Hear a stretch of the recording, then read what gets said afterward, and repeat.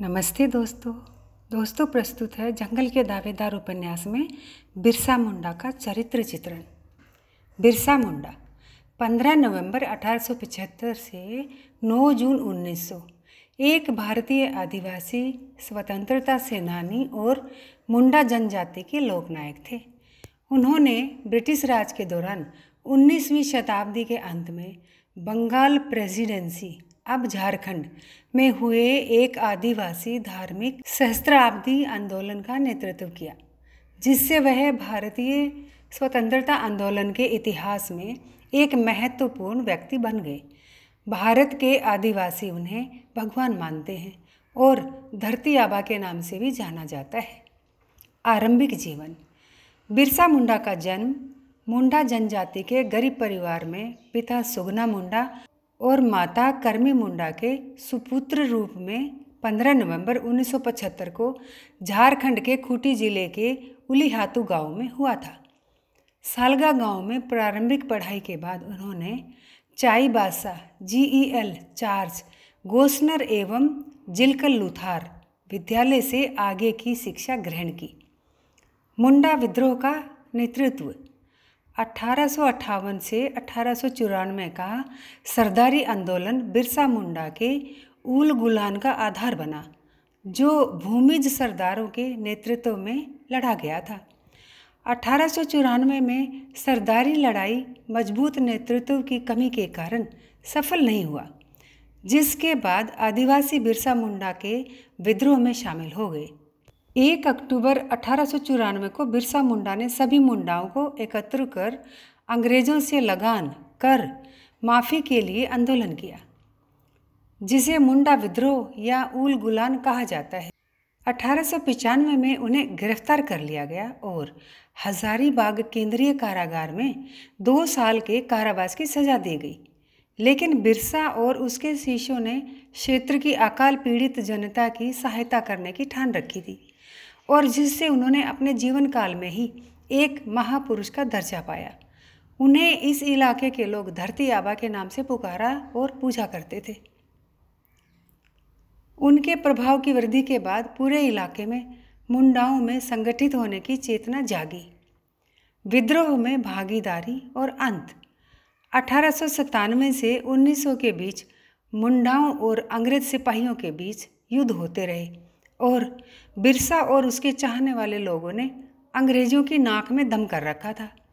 अगस्त अठारह सौ सतानवे में बिरसा और उसके 400 सिपाहियों ने तीर कमानों से लैस होकर खूंटी थाने पर धावा बोला।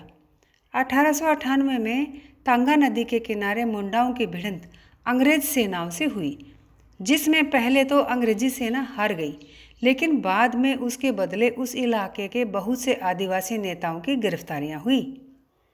जनवरी 1900 डोम्बारी पहाड़ पर एक और संघर्ष हुआ था, जिसमें बहुत सी औरतें व बच्चे मारे गए थे। उस जगह बिरसा अपनी जनसभा को संबोधित कर रहे थे। बाद में बिरसा के कुछ शिष्यों की गिरफ्तारियाँ भी हुई। अंत में स्वयं बिरसा भी 3 फरवरी 1900 को चक्रधरपुर के जमकोपाई जंगल से अंग्रेज़ों द्वारा गिरफ़्तार कर लिया गया। बिरसा ने अपनी अंतिम साँसें 9 जून 1900 ईस्वी को रांची की कारागार में ली।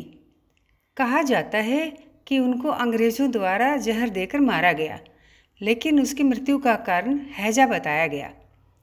आज भी बिहार, उड़ीसा, झारखंड, छत्तीसगढ़ और पश्चिम बंगाल के आदिवासी इलाकों में बिरसा मुंडा को भगवान की तरह पूजा जाता है।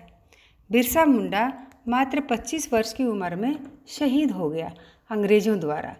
कहा जाता है कि अंग्रेज़ों ने उसकी मौत का कारण हैजा बताया, परंतु लोग मानते हैं कि उसको जहर देकर मारा गया था। बिरसा मुंडा की समाधि रांची में कोकर के निकट डिस्टिलरी पुल के पास स्थित है। वहीं उनका स्टैचू भी लगा है। उनकी स्मृति में रांची में बिरसा मुंडा केंद्रीय कारागार तथा बिरसा मुंडा अंतर्राष्ट्रीय विमान क्षेत्र भी है। 10 नवंबर 2021 को भारत सरकार ने 15 नवंबर यानी बिरसा मुंडा की जयंती को जनजातीय गौरव दिवस के रूप में मनाने की घोषणा की। जनजातीय गौरव दिवस। भारत सरकार के केंद्रीय मंत्रिमंडल द्वारा 10 नवंबर 2021 को आयोजित बैठक में आदिवासी स्वतंत्रता सेनानियों के योगदान को याद करने के लिए बिरसा मुंडा की जयंती 15 नवंबर को जनजातीय गौरव दिवस के रूप में घोषित किया है। इस दिन को भारत के एक वीर स्वतंत्रता सेनानी को याद किया जाता है। बिरसा मुंडा का जन्म मुंडा जनजाति के गरीब परिवार में पिता सुगना मुंडा और माता कर्मी मुंडा के सुपुत्र रूप में 15 नवंबर 1875 को झारखंड के खूंटी ज़िले के उलीहातू गाँव में हुआ था। सालगा गाँव में प्रारंभिक पढ़ाई के बाद इन्होंने Chaibasa G E L church Gossner एवं जिलकल लुथार विद्यालय से आगे की शिक्षा ग्रहण की। बिरसा का दावा है कि ईश्वर का दूत और एक नए धर्म के संस्थापक ने मिशन के प्रति असंतुष्ट प्रतीत किया है। उनके संप्रदाय में भी ईसाई धर्म से प्रेरित थे। ज़्यादातर सरदार उनकी सरल व्यवस्था को चर्च के खिलाफ निर्देशित किया गया था, जिसने कर लगाया था और एक भगवान की अवधारणा ने अपने लोगों से अपील की, जिन्होंने अपने धर्म और आर्थिक धर्म के मरहम लगाने वाले, एक चमत्कार कार्यकर्ता और एक प्रचारक को तथ्यों के सभी अनुपात से फेल दिया। मुदास ऑरेंस और खरिया नए भविष्य द्वक्ता को देखने के लिए चालाक के पास आए और उनकी बीमारियों से ठीक हो जाए। परामऊ में बारबरी और चचेरी तक, ओरोन और मुंडा आबादी दोनों ही बिरसाइटी बन गए। समकालीन और बाद में लोकगीत अपने लोगों पर बिरसा के ज़बरदस्त प्रभाव, उनके आगमन और उनके आगमन पर उम्मीदों को स्मरण करते हैं। धरती आबा का नाम हर किसी के होठ पर था। सदानी में एक लोकगीत ने दिखाया कि जाति हिंदुओं और मुस्लिमों की तर्ज पर पहला प्रभाव कटौती भी धर्म के नए सूर्य की ओर आते हैं। बिरसा मुंडा ने आदिवासी लोगों को अपने मूल पारंपरिक आदिवासी धार्मिक व्यवस्था का पीछा करने की सलाह दी। उनकी शिक्षाओं से प्रभावित वह आदिवासी लोगों के लिए एक भविष्य वक्ता बन गया और उन्होंने उनके आशीर्वाद मांगे। बिरसा मुंडा एक आदिवासी नेता और लोकनायक थे। ये मुंडा जाति से संबंधित थे। वर्तमान भारत में रांची और सिंह भूमि के आदिवासी बिरसा मुंडा को अब बिरसा भगवान कहकर याद करते हैं।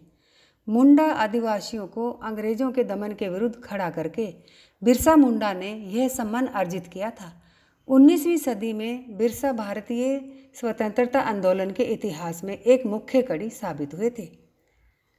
बिरसा मुंडा का परिवार वैसे तो घुमक्कड़ जीवन व्यतीत करता था, लेकिन उनका अधिकांश बचपन चलक्कड़ में बीता था। बिरसा बचपन से अपने दोस्तों के साथ रेत में खेलते रहते थे और थोड़ा बड़ा होने पर उन्हें जंगल में भेड़ चराने जाना पड़ता था। जंगल में भेड़ चराते वक्त समय व्यतीत करने के लिए बांसुरी बजाया करते थे। और कुछ दिनों में बांसुरी बजाने में उस्ताद हो गए थे।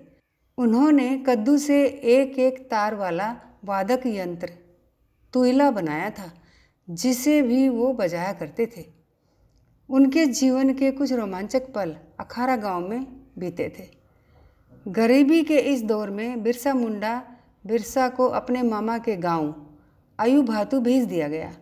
आयु भातु में बिरसा दो साल तक रहे और वहाँ के स्कूल में पढ़ने गए थे। बिरसा पढ़ाई में बहुत होशियार थे, इसलिए स्कूल चलाने वाले जयपाल नाग ने उन्हें जर्मन मिशन स्कूल में दाखिला लेने को कहा। अब उस समय क्रिश्चियनियत स्कूल में प्रवेश लेने के लिए ईसाई धर्म अपनाना ज़रूरी हुआ करता था। तो बिरसा ने धर्म परिवर्तन कर अपना नाम बिरसा डेविड रख दिया, जो बाद में बिरसा दाऊद हो गया था। जन सामान्य का बिरसा में काफ़ी दृढ़ विश्वास हो चुका था। इससे बिरसा को अपने प्रभाव में वृद्धि करने में मदद मिली। लोग उनकी बातें सुनने के लिए बड़ी संख्या में एकत्रित होने लगे। बिरसा ने पुराने अंधविश्वासों का खंडन किया। लोगों को हिंसा और मादक पदार्थों से दूर रहने की सलाह दी। उनकी बातों का प्रभाव ये पड़ा कि ईसाई धर्म स्वीकार करने वालों की संख्या तेज़ी से घटने लगी और जो मुंडा ईसाई बन गए थे वे फिर से अपने पुराने धर्म में लौटने लगे।